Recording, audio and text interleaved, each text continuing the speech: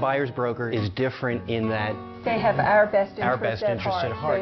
They, they care about what we want, what we're interested in, not something they're interested in selling because it's been sitting for a long time. We would definitely recommend buyers brokers. They did everything we asked them to. They were informative. They they were there for us. They knew what we wanted. they went above and beyond, you know, whatever was required.